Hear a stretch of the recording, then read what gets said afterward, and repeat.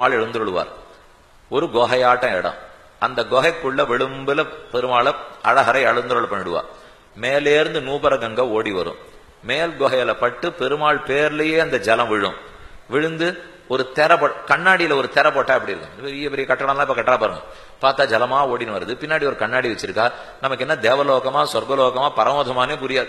அவ்வளவு அழகா இருக்குமோ இல்லையோ? இது நெஜம். அது போய் அது செயற்கை. இது நிஜமாவே பெருமாளே நம்ம பக்கத்துல இருப்பார். நிஜமாவே பெருமாளே நம்ம பக்கத்துல இருப்பார். எல்லாரும் கிட்டக்க போலாம். அவர் திருவடிக்கு கீழே நம்ம தலையை முட்டின்னு உட்காண்டா அந்த தீர்த்தம் அவர் பேர்ல பட்டு அவர் திருவடியில பட்டு நம்ம தலையில விழும். இனிமே பாவம் நிற்க போறதா சொல்லுங்க? அப்படிதான் அது தொட்டி திருமஞ்சன உற்சவம்னு சொல்லுவா. அவசியம் குறிச்சு நடுங்க. ஐப்பசி மாசத்தில் சுக்ல பட்சத்திலே துவாதசி திதியில் தொட்டி திருமண உற்சவம் ரொம்ப நன்னா நடக்கிறது. நம்மாழ்வார் பத்து பதினோரு பாசுரங்கள் பாடினார். ஏன் முடிச்சோதியாய் உனது முகச்சோதி மலர்